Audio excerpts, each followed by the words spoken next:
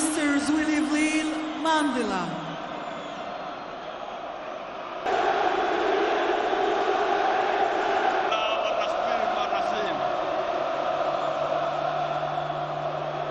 Excellencies,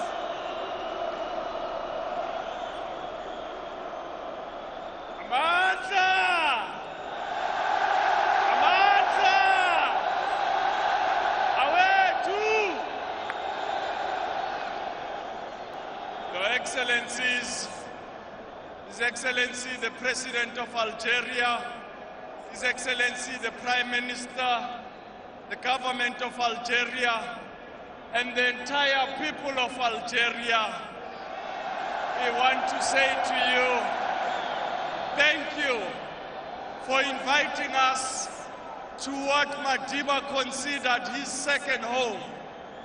We are here today to witness in front of the entire leadership of the Africa Cup of Nations as led by Patrice Motsepe as well as with all the soccer-loving people of the world to see and witness this land of revolutionaries that made Madiba a man that ensured that it stood side by side with all African nations who were in fight for liberation and ensured that it supported our struggles to witness the freedom that we enjoy today.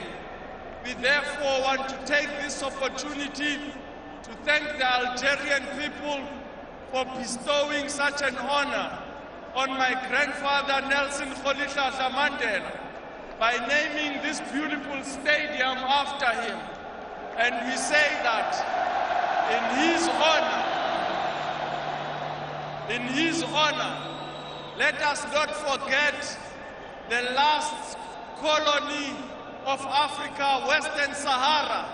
Let us fight to free Western Sahara from oppression. Let us also remember that Madiba said our freedom is incomplete without the freedom of Palestine. Therefore, we stand together to fight for the liberation of Palestine. Free, free Palestine!